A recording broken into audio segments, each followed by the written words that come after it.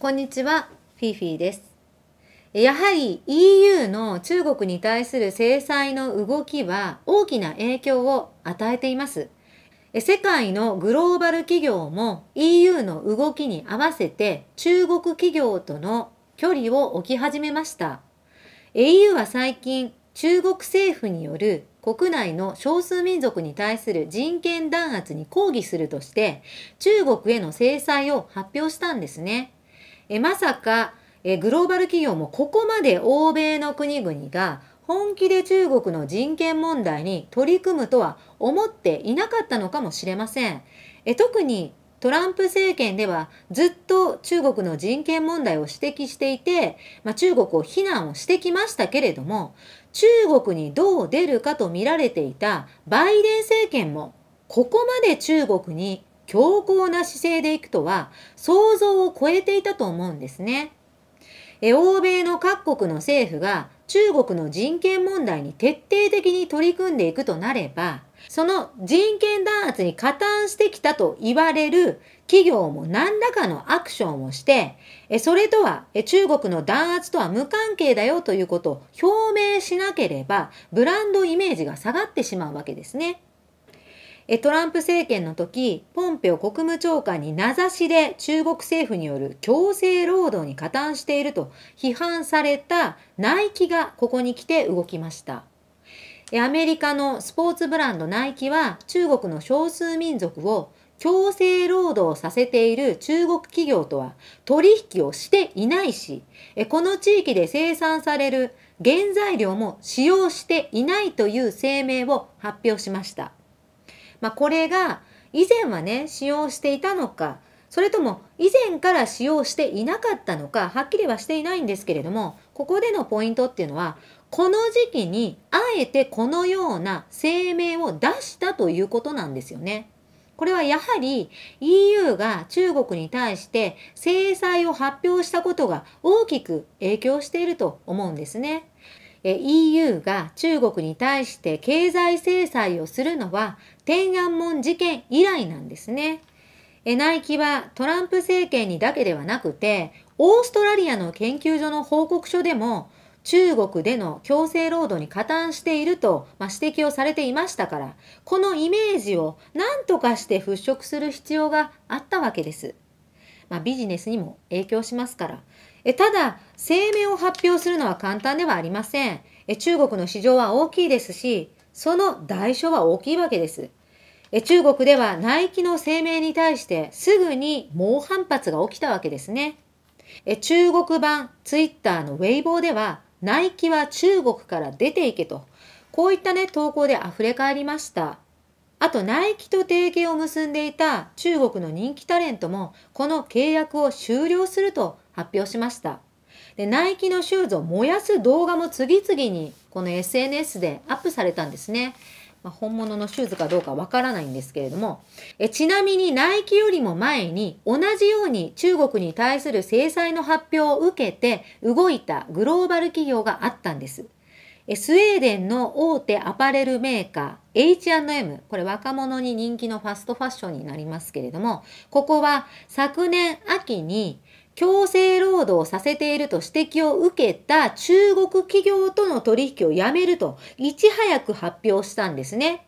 で、こちらは明らかに時期的にもトランプ政権の中国に対する経済制裁を受けて動いていたということになります。で、これに対して最近になって突然中国共産党系の団体が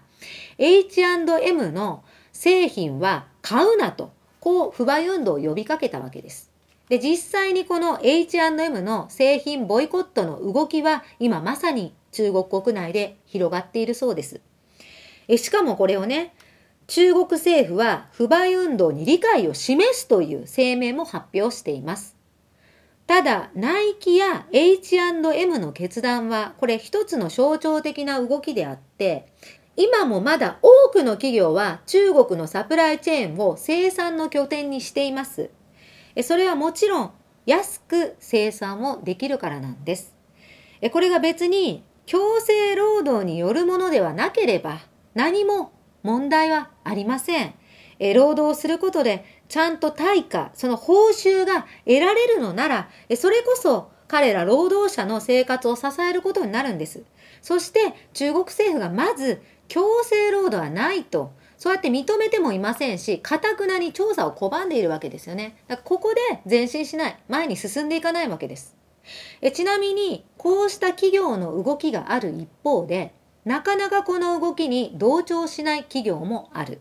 スペインのアパレル大手ザラは一時期はこの強制労働で生産された麺を使わないといった声明を出していたはずなのに、まあ、それをしれっとこのウェブのサイトでその声明文を撤回していたんですね。えこのことについての取材も応じていないと言います。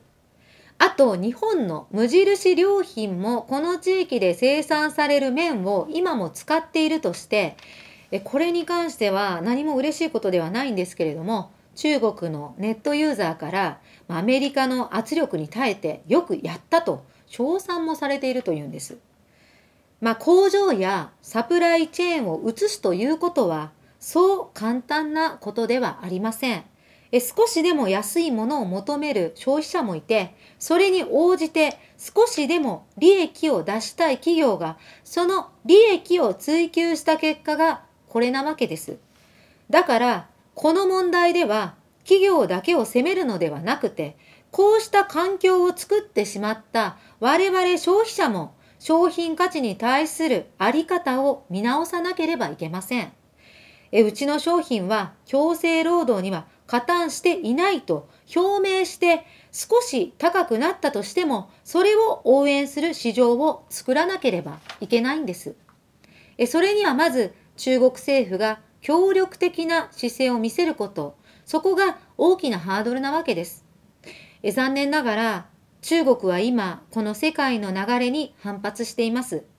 え例えば最近の報道ではこんなことがありました。え中国のハッカー集団がアメリカに在住する中国に弾圧をされている少数民族出身の人権活動家や記者を標的に今後彼らの監視を強化していることが分かったんですね。えこのことは Facebook のセキュリティ部署の調査で明らかになりました。え中国のハッカー集団はハッキングの標的のモバイルだったり PC に監視が可能になるウイルス的なウェアを感染させるわけですよね。えまずえその中国の少数民族に関するさまざまなジャンルの人気のサイトを作ってそこにアクセスしてきたらその監視用のウェアを自動的にこの端末にインストールするわけです。え Facebook は直接中国政府を非難はしていませんがただこのハッカー集団は個人ではなくてその規模から中国政府が絡んでいるだろうと見ているんです。えちなみに前にも中国政府とつながりのあるハッカーがえこの中国国内の少数民族を標的に iPhone や Android をハッキングしていたということがあったわけですね。だから今回も時期が時期ですし、まあ、中国政府が支援しているハッカー集団だったとしてもおかしくないということなんです。